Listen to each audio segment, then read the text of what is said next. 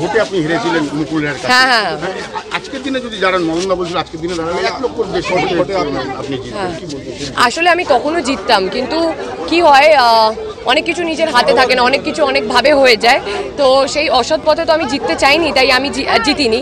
কিন্তু আমার মনে হয় যে আমার মানে সব with all respect Mukul Roy উনি এত বড় তাবর একজন আহ, রাজনৈতিকবিদ সেখানে উনি আমাকে আমার মনে হয় এক লাখ ভোটে মার্জিনে হারানো উচিত ছিল। কিন্তু উনি তিরিশ হাজার ভোটে হারিয়েছেন। তো কতটা মানুষের একটা নবাগত প্রার্থী কতটা মানুষের ভালোবাসা কুড়োতে পেয়েছে সেটা আমার ভোটের সংখ্যা বলে দেয়। ভোট কেমন হয়েছিল ওখানে? সেই সময় ভোট কেমন হয়েছিল? মুকুল রায় ভালো হয়েছিল। আমি তো সব জায়গায় ঘুরে দেখেছিলাম। ওনাকে কখনোই দেখিনি। শুরুর দিন থেকে শেষ অবধি দেখিনি। আর আজও হয়তো কেউ পাচ্ছে না। তো আমার মনে হয় মানুষ হয়তো সেটার আফসোস করে আজও যে দিদি হলে হয়তো ভালোই হতো কারণ ওখানে- যান না আমার যখনই সময় হয় যাই ওখানকার মানুষ ডাকে কালকে অনেকে আসছে আমার জন্মদিন উদযাপন করতে তো এটাই বড় পাওনা যে মানুষ এখন আমায় ভোলেনি। মানুষ একদম একদম। মন জয় করে নিয়েছে এটাই আসলে আমার মনে হয়। কি বলবেন কালকে জন্মদিন? কালকে জন্মদিন আমার সবসময় বেস্ট উইশেস ভালোবাসা অনেক কিছু এবং আমি সবসময় চাই যে ওর ভালো তাই জন্য ওর পাশে আছে।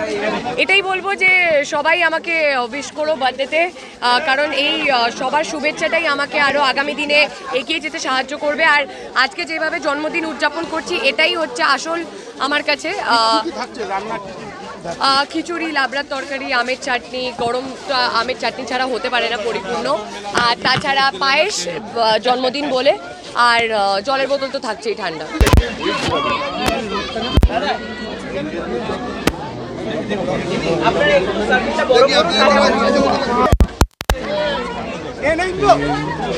ঘুরে ঘুরে ঘুরে। পৌঁছানি ঘুরে। অনি ঘুরে। এদিকে আছি মারাত্মক তিনটে বড়। আর আগে আছে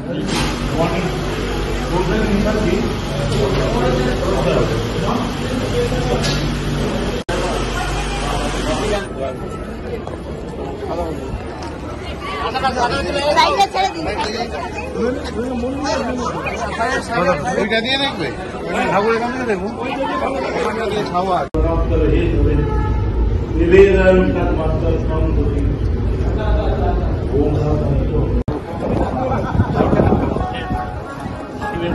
পুজো করছে আর ঠাকুরের ভোগ দেখে? সামনে নাও যাবে হ্যাঁ এখানে নিয়ে নিচে নেবেন ঠিক আছে হাত দেয় ঠিক আছে চল। মন্দিরে কেউ